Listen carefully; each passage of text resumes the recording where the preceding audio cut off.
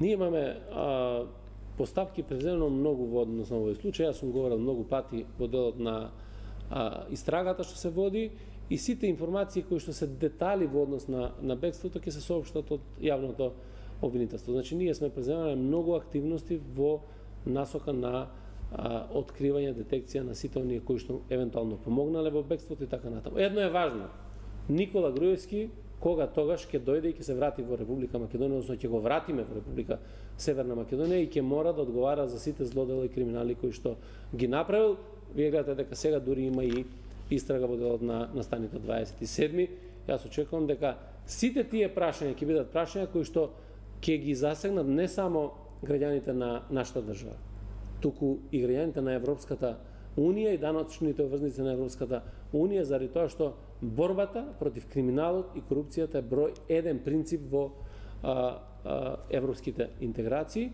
И токму заради тоа сметам дека секој еден, па на крајот и или на почетокот ако сакате и Никола Груевски ќе мора да има одговорност. Тој тврдеше дека се плашал дека ќе биде ликвидиран, затоа избегал, потоа следуваше на инцидент во затворот со Јанакиевски и Ристовски и сега се отвара тезата дали тоа може да биде аргумент на Груевски.